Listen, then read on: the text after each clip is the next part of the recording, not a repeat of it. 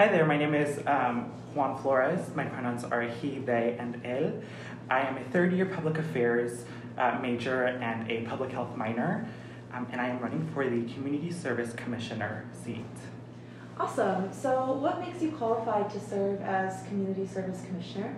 And what are some of your past experiences going into this?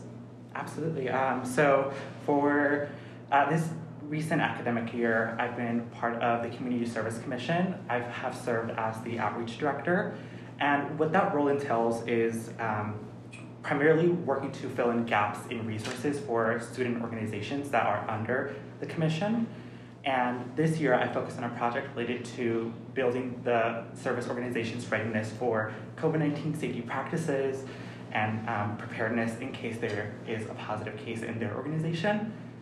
Uh, we have all seen how um, UCLA has been accommodating changing regulations and policies regarding to COVID-19 safety, and our students are working out in the community with high risk and um, medically underserved populations. So it's important that they are fully equipped to go out to the community and are safe and are resourceful so that they can, can come back to campus and are not spreading COVID to our peers while they're in lecture halls, in discussion sections, or just you know their daily activity here on campus.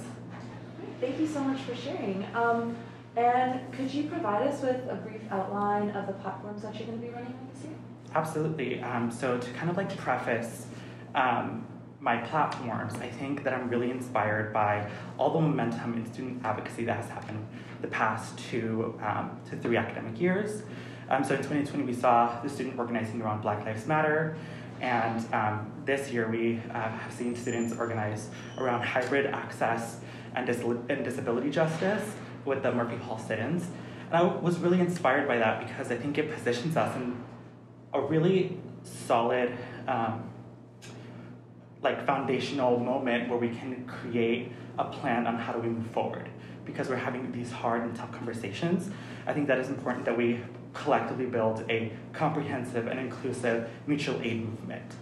Um, and so to build this mutual aid movement, I think um, a guidance service declaration document is my first priority as um, commissioner. Um, and so this guidance service declaration document will be created. Um, my vision for it is to be created um, with all service orgs and to be created to align and unify missions, goals, values for service. And all other platforms kind of stem from building that partnership and coalition between service orgs that do similar or overlapping work with specific um, disadvantaged uh, communities. And just overall making sure that there's effective streamlined communication between commissions between service orgs and between service orgs and commissions. Awesome. Thank you so much for sharing um, so how would you, in your role as Community Service Commissioner, actively work to represent the Bruin community as a whole, and especially those who feel underrepresented either in USAC or within the Bruin community? Yeah, um, so I personally um, am like a grassroots community organizer. That's kind of like my background in community service is making sure that we're meeting people where they're at.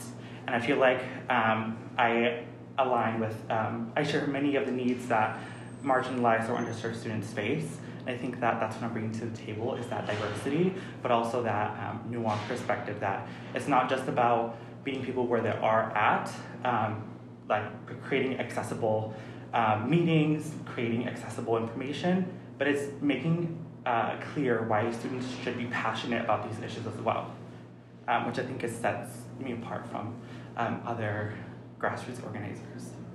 Awesome. And are there any other details that you would like to share with the student body or anything else that you would like to mention regarding your background or experiences? Yeah, so um, this quarter I was appointed um, for the on the Student Risk Education um, Committee, which is housed under the Community Programs Office. Um, and this uh, committee focuses on building uh, instructional material for service organizations doing activities on and off campus. And this is actually one of the committees that the uh, Community Service Commissioner sits on. So I think that um, my transition into this role um, is going to be uh, made much more effective and easier as I'm actually already taking on these tasks that the Commissioner will hold in the 2022 and 2023 academic year. Awesome, thank you so much, Juan. Cool. And I had kind of a follow up question on that same topic there. Um, so, working with the current community service commissioner, um, what are some things that you might have learned or some things that you might want to do differently that the student body will look at your term versus their term? And, even though you worked with them they'd say oh this was different because Juan is in office now. Yeah um, so uh, Momina, uh, who is the current commissioner, has done such an amazing job, and she's um, passing on the torch of our predecessors that have actively uh, mobilized for um, making more services and resources available for service orgs. Um, I think what uh, I am bringing to the table that is different is that I'm um, really building a solid foundation for uh, student organizations to feel that they are in solidarity with one each other and that they have some sort of kind of like um, community care um, and coalesce, a coalition-based um, um, partnerships where they uh, leverage resources and they really work together. I feel like that's what I'm trying to create is that um, we've done so much work, but we haven't really um, made sure that we have established clear relationships that outline um, kind of that we're doing the same work and that we need to make sure that we're not working in competition with each other, right. but we're actually working in union with each right, other. Right, right. Is there a particular, I guess, like student organization or group of student organizations that you think um, makes like a particularly valuable contribution to community service here on campus? Is there some some orgs that you feel like maybe you're underfunded or something that you would want to direct more resources to because you've seen them and seen them grow and have an appreciation for them? Absolutely. So I think that's an amazing question because um, the Community Service Commission has specific service boards that are under them and that have specific access to benefits for being under the commission. But um, uh, which kind of like se- separates uh, stu- uh, student orgs into being USAC, like CSC affiliated and not affiliated. Right. Um, and so I feel like one of the organizations that have been longstanding and not necessarily part of uh, CSC are mother orgs. So I think um, building some sort of partnership with them, I personally believe that they should almost, that, that we should have a seat on USAC specifically for mother orgs to um, have some sort of voice since they have a long-standing platform. Um, so I think that uh, for, for my uh, term, um, if given the seat for commissioner, I think that's uh, what I would like to work on is making sure that we're um, allocating resources effectively, but also we're having those conversations about, okay, we've classified this organization as being qualified and um, the only beneficiary for a specific resource while others are not really uh, accessing those right. resources. Yeah. Um, so yeah. it's just like determining, kind of revisiting what you would qualify as community service in that whole definition. Exactly. Yeah, awesome.